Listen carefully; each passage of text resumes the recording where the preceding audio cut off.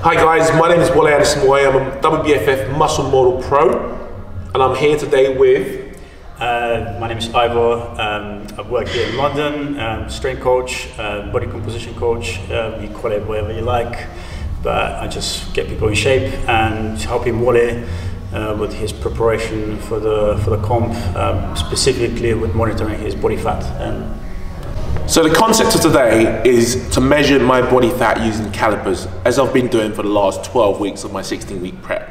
Now I'm down to my last four weeks or four and a half weeks of my prep. I'm going to use the calipers as I've been doing for the last 12 weeks, and also I'm going to use a technique called the scan and compare the two to see which one is more accurate.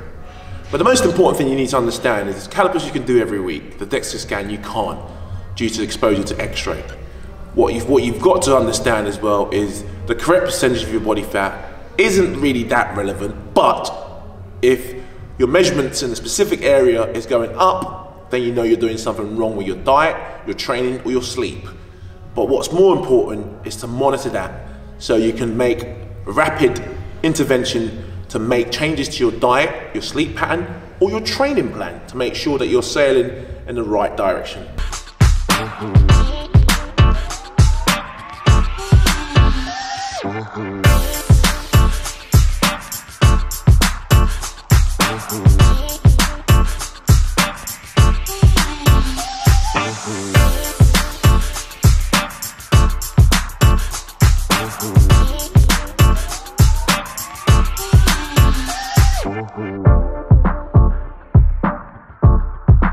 What's my fat sitting at the moment using calipers? 5.2 uh, as it stands, you know, uh, we have it at 100, uh, 102.4 lean mass. Lean mass includes bones, um, uh, organs, fluids, everything else, but obviously I don't know, DEXA will give you some better breakdown of everything. That's it. Okay, and then we post this anyway, so. So the most important, the most important thing is, guys, the calipers using the Charles Poliquin technique um, is giving me a reading of 5.2% body fat. So, based on that information, the next time you see me, I'm going to be using the DEXA scan, which is going to hopefully give me uh, a more accurate measurement. But let's see what the difference is between the calipers and the DEXA scan. Obviously, you've been following my prep so far, you've been seeing I've been using calipers to measure my body fat. I'm here today at Body Scan UK to have the, cal- the calipers prove wrong to some degree because they've been telling me that I'm 4.4% body fat and the man standing right next to me here, Phil, has told me that if I was 4.4% body fat, I'd be dead. Pretty much. So, um, DEXA scan is what I'm going to perform today, and I'm going to pass you over to someone who knows a little bit more about what I'm about to undertake, undertake which is Phil. Alright. Phil, please tell them Okay. what, you, what, your- what DEXA Alright. scan's all about. So four percent is just like ridiculously low. Like you can't be four percent. We all need essential fat for our bodies to run. Four percent, you'd be 60 under. So I can tell you now, the lowest we've ever had on DEXA is about ten percent body fat. Okay. Um, with calipers, you can only you know, measure the fat you can pinch, the fat on the outside. We're using an X-ray to measure all of the fat through all of your body, including intramuscular fat. So that's why we tend to give a higher result. Um, calipers, schmalipers, people use them. Yeah, I don't know why they use them, but they do. So let's get the let's get the dirt. And also the, the key thing with measuring body composition is it's not so much the number, it's it's it's the reproducibility, the consistency, right? You want to know for certain that when you come back for a second scan, you've actually got a real change. Yeah. It's not just pinching harder or water you've had to drink or you know what you had for breakfast. So, based on what I'm about to undertake today, Yeah. how, when do you think I should come back Um, my second appointment? This is my first time. Sure. Yeah, we, we recommend about 12 weeks, about three months. Um, you know, not less than eight weeks, because you want to be measuring meaningful changes, real measurable changes. And when you start on any kind of food plan or diet, then your body's kind of all over the place. It ta- takes time to settle down. So we want to know that we're on a sustainable, uh, you know, progress plan. Yeah. Perfect. Okay. Perfect. All right. Ready to do it? Ready to Yeah, do it. okay. So, guys, top coming off. Here we go. All right. Right, let's do this. whoa. Gravitational pull. the mass, the dense mass. of Wally. And step away. 183 and a half. Six foot and a half. Six foot a bit.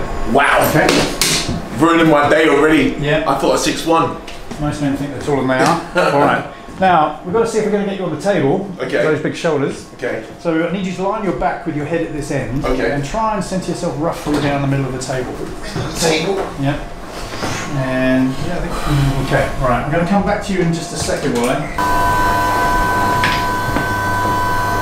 Um, the table you're lying on is moving very gently.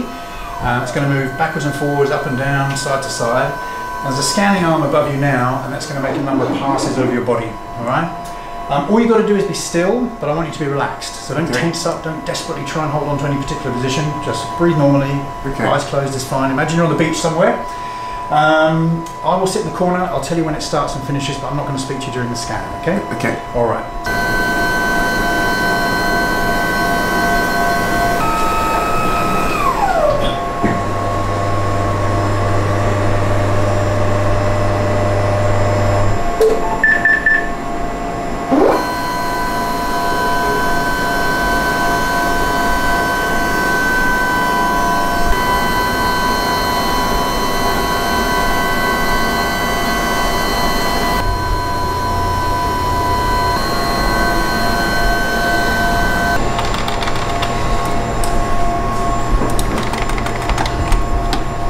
Can see before I even do anything that there's very little fat on this guy.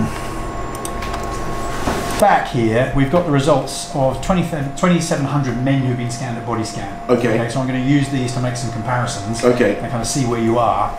Um, so it's not a random sample of the UK population, they're all body scan clients. Okay. right? It's every body type you can imagine. Okay. I'm not sure your body type is in here, but there may be one or two of your body type in all that data. Um, so the key thing really is here on the front. Yeah. And this is, you know, so vis- here visually we get a look at your overall body composition. Now, you can't actually see it, but orange is fat, um, as you can see from the scale Yeah. and we can't really see any orange. Um, if I show you someone who's um, a typical uh, body scan client, let's put these together here, um, you can see the, the difference. So this is a, a body scan client, and there's very much the orangey fat. Okay, uh, red is your, your lean mass, and you can see that your lean mass is really dense. We're, we're not red, we're actually into the purple zone. So basically, what DEXA does is it's a, it's a densitometer. It measures the density of stuff, and as things get denser, they get more into the, the purple and then the blue. Yeah. So your bones are obviously the most dense part, the hardest part of you, but you can see your lean is just, you know, really, really solid muscle, really dense muscle. So, so you're carrying 13.7 kilos of fat, uh, Wole. Um, body fat percentage. Now with the head, it's 12%. With someone like you, professional, we take without the head because we can't change much of the, the content of the head. So with the head, you're 12% uh, body fat. You're not even on the table, right? You're at the lowest bottom 1%, the best 1%. Even without the head, 11.3. Once again, our lowest figure is 12.1. So you're in the top 1% for body fat percentage. And when it comes to muscle, you're off the damn chart. Come back round, Lee. Get the shot. So there you have it, guys. I'm off the Richter scale, baby. Yeah. but again, guys, I just want to say I love what I do. I do it with a smile, and it's all about putting a love into what you do. The results will come, and the success will follow. Bless you all. Thank you.